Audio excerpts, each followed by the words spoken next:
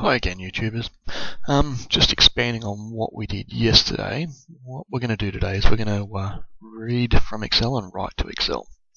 So we'll start off with the writing to Excel. Now you'll notice I've got three examples here, and they're all going to write to column A, column B, column C. So obviously, first one we've got our command for writing to Excel. Then we've selected the workbook that we've opened up. Now, this is where you'll actually select which sheet you want to write to. So you, there's goods and bads for all of them. Um, I will go through the what I think is best for what works for me. Um, now, I'll just give a quick explanation of each one. So your default is whatever sheet is open in Excel.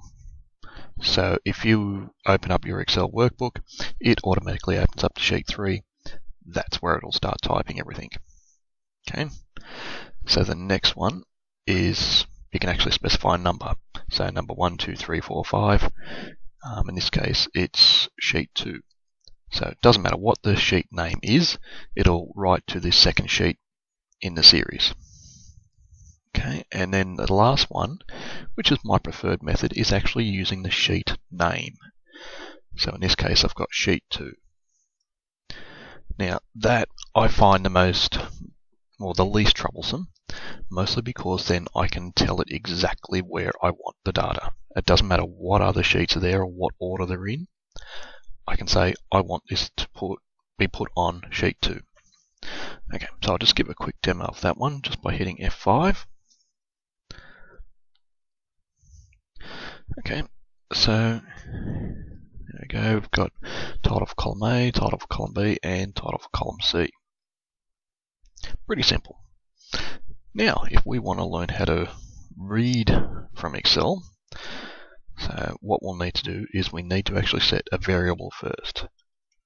So we can set it as, and we'll just call it underscore read and the command for this one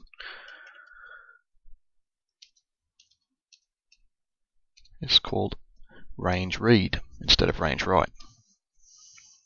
Okay, so then we go back to the workbook that we created and then we want to tell it which sheet we want to read from. So in this case we'll tell it sheet 2 and which cell we want to read from. So in this case, we'll do column A4. Okay. Yep, that reads it.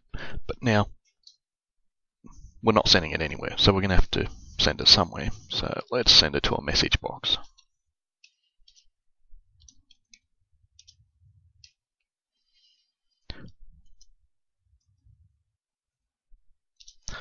Alright, done. Now we'll hit F5 and you'll notice that cell A4 has 32 and it sent 32 to the message box.